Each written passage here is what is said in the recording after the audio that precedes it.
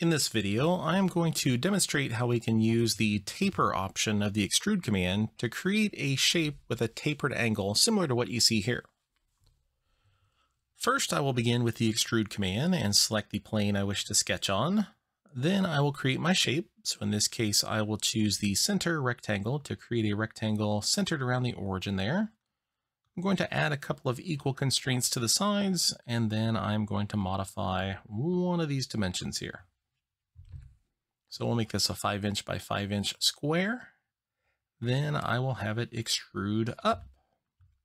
So I can adjust the distance as always. Let's say I wanted this to go up 10. And then I can add in a taper angle.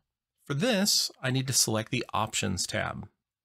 Then I can choose Add Taper. I can increase the angle here, let's say to 10 degrees, and I can see that it is tapering to the outside. Since I want it to taper to the inside, I will just simply adjust this to a negative 10 degrees so that it tapers in the other direction. Once again, I can modify this as needed, adjust the angle if that's too sharp. Maybe I want to go with a 5 degree angle instead. Then I can go ahead and click OK, and I now have my extrusion with a tapered angle. This feature will work with most shapes. I can create a circular shape as well, for example. So once again, I will extrude, select the plane that I want to sketch on, I'll add a circle in here. Let's say it has a diameter of 10 inches. Then click OK.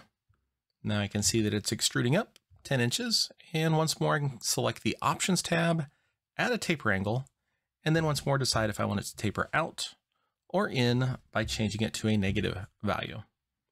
Then click OK. That concludes this look at the taper option of the extrude command in Creo Parametric.